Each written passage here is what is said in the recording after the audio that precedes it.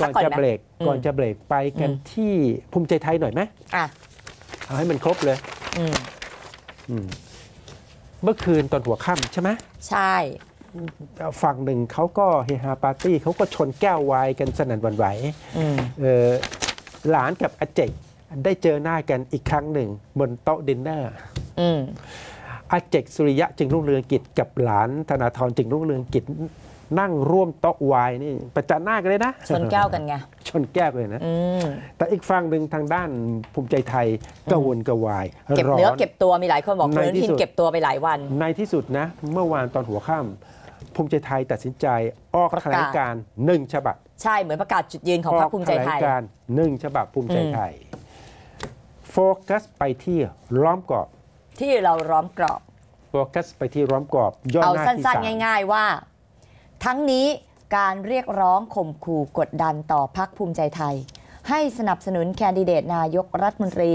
ของพักการเมือง ที่มีนโยบายแก้ไขหรือยกเลิกประมวลกฎหมายอาญามาตรา 112 จะไม่มีผลให้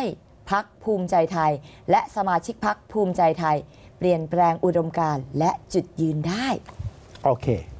เป็นแถลงการที่แสดงจุดยืนชัดเจน ของเป็นพรแถรคลภูงมิใจการณ์ไทยสังเกตไหมครับ เป็นแถลงการณ์ที่ดึงจังหวะการการการการการการแจกออกมา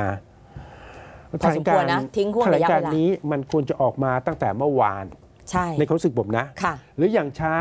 เช้าวันเช้าเช้าวันเนี้ยมื่ก่อนเที่ยงคือไอ้เช้าเมื่อวานอะจริง ๆ ต้องออกมาตั้งแต่เมื่อวันซืนอ่าตั้งแต่วันตั้งก่อนตั้งแต่วันถูกซืน หรืออย่างเช้าเมื่อวานหรือะย่งช้ก่อนเที่ยงช้าเมื่อวานก่อนเที่ยง ควรจะออกมาได้ละแต่ทำไมเลือกออกแถลงการณ์ฉบับนี้ในจังหวะหัวค่ำของเมื่อวานเขากำลังเฉอีกฝั่งหนึ่งกำลังเฉลิมฉลอง